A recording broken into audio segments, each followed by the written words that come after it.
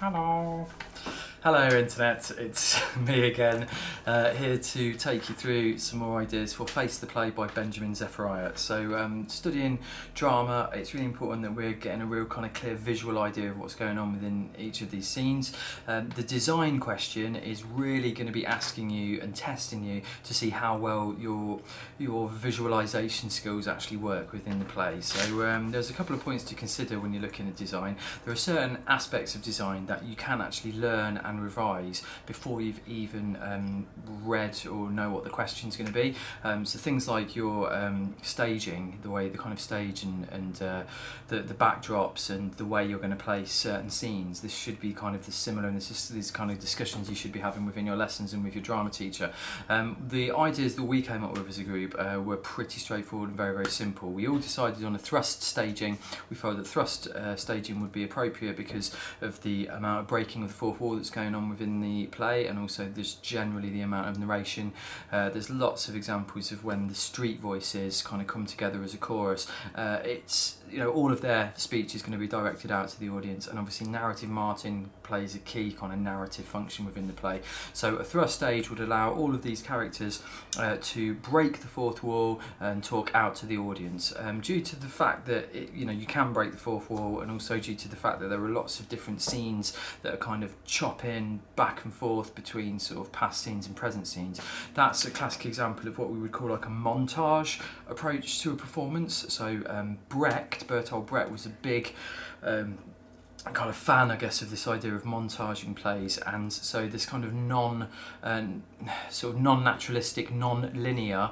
Um, approach would again suit like a non-naturalistic staging design primarily inspired by Brecht. So um, Brecht would be your main practitioner when you're talking about this, and it, you do have to in the question to um, sort of mention what kind of influences and what kind of uh, style of production you would take. So the style I believe is non-natural, uh, inspired by Brecht. I would use a thrust staging uh, that would allow my characters to break the fourth wall and narrate directly to the audience. Um, also, because of the uh, themes, because of the setting of the play, the context of the play, it is set um, in a city um, in London. So we're thinking about like ideas to do with backdrops or possibly even projections that are going to reflect this city um, sort of uh, reflect this cityscape, if you like, um, this urban kind of um, kind of atmosphere of the whole play. So some of the ideas we had were things like um, a brick wall with um, graffiti uh, on it uh, to show that it's part of like an inner city kind of culture.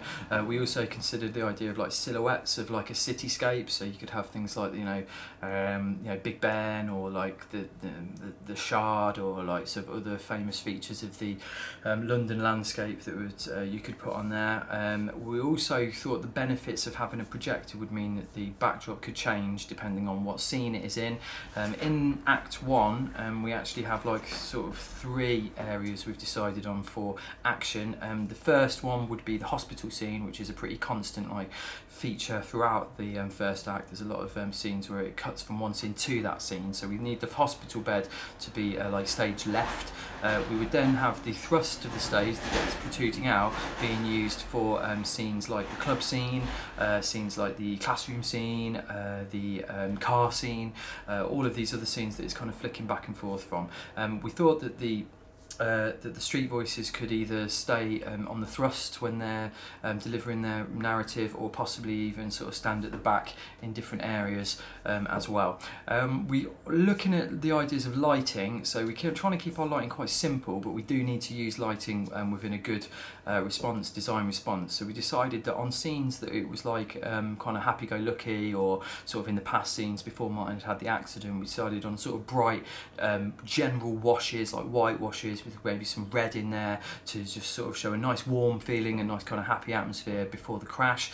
Um, we thought that an interesting scene to light would be the uh, club scene because the club scene's obviously got like loads of flashing tableaus and sort of all these other things that you would expect to see in a club. Um, we also thought that the um, the hospital scene primarily in the first act the hospital is quite a sad kind of setting and quite a sad kind of scene because you've got like present martin in there. He's all broken up and he doesn't know what's going on. So we thought like ideas like uh, blue lights uh, green lights, like those kind of cold colours to create that kind of sad, somber mood uh, within those scenes would be really good and would be a nice juxtaposition for some of the kind of brighter, more well lit scenes where everyone's having a good time and it's kind of happy, kind of nostalgic feelings going on. Um, so there are some ideas for you with regards to. Um, uh, set design. I have by no means kind of covered all the bases. I really think that design is a, a really sort of important one, a really good one for you to like engage ima- imaginations with. Um, it, I would,